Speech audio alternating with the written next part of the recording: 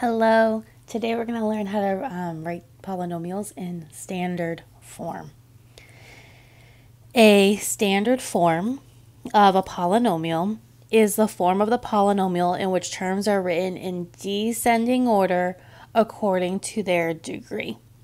So we write these in terms of um, exponents for the variable, and we go from highest to lowest. Remember the degree is the highest exponent. Well, in this case, it is the exponent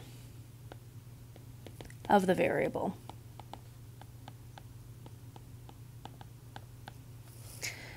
So, for example, when we have x squared plus x plus 1, this is in standard form because its exponents go from highest to lowest. So here my exponents are 2, 1, and then because I don't have an x here, this is like x raised to the zeroth power.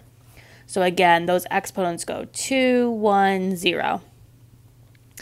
When we look at x plus 5 plus 2x squared, this is not in standard form because the terms are not written in descending order according to their degree, meaning their exponents for their variable x does not go from highest to lowest. Here my variable for x is 1. Here I have 5, so the degree of x is 0, and then I have 2. So this one is correct. The first example is correct because the exponents go 2, 1, 0. But in this example where it's not correct, it goes 1, 0, 2. So we always want to go from the highest degree to the lowest degree. So let's try some of these here.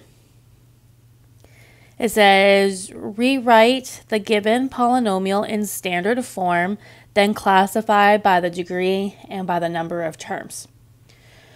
So when I look at example 1, I have 6x plus 3 plus x squared. The highest exponent for the variable x is 2. So the term x squared is going to go first. The next highest exponent for x is 1. So 6x, whoops, will go next. Let's grab that highlighter. 6x is positive, so I'm going to use a plus sign there. I know the 6x is positive because there's no negative sign in front of it. And then the last term I have is 3. So 3 is going to go last. 3 is positive, so I use a plus sign. So here we can see our exponents go 2, 1, 0. And that is for the variable x. So this is my answer in standard form. That is the first thing they wanted us to do. Rewrite the given polynomial in standard form. So that's the first thing. They also ask us to classify by the degree and by the number of terms. So let's do that. By the degree, well, the highest exponent for x is 2. So that makes this a quadratic. And then we have three terms, so that also makes this a trinomial. So x squared plus 6x plus 3 is a quadratic trinomial. Go ahead and write example 2 in standard form.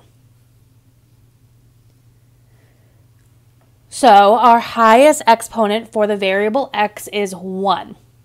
And we can see that right here with the term 2x.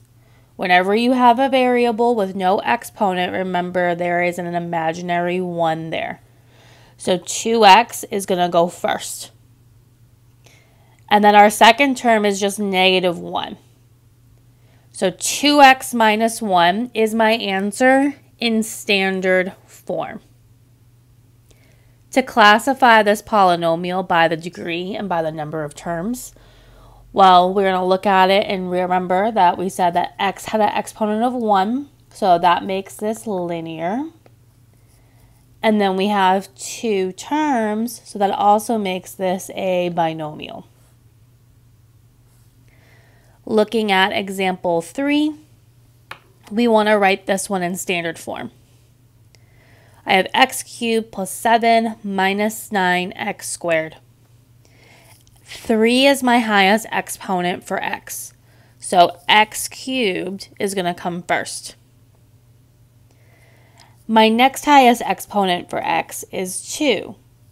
So negative 9x squared will come next.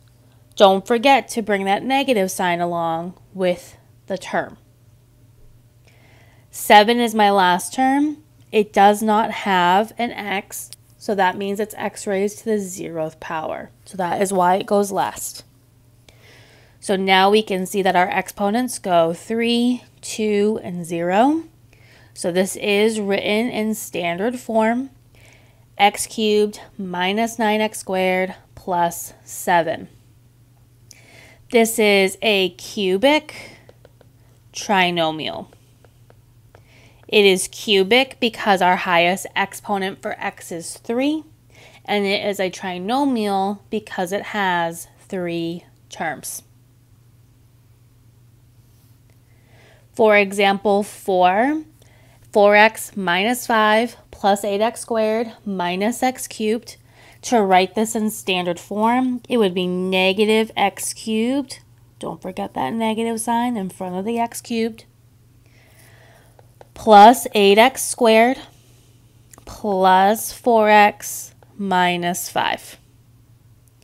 This is your answer in standard form. Here you can see that your exponents for the variable x go 3, 2, 1, and 0. To write this, um, to classify this polynomial, well, our highest exponent is 3, making this a cubic. And then I have four terms. Anything that has four or more terms, we just call a polynomial. So this would be an example of a cubic polynomial.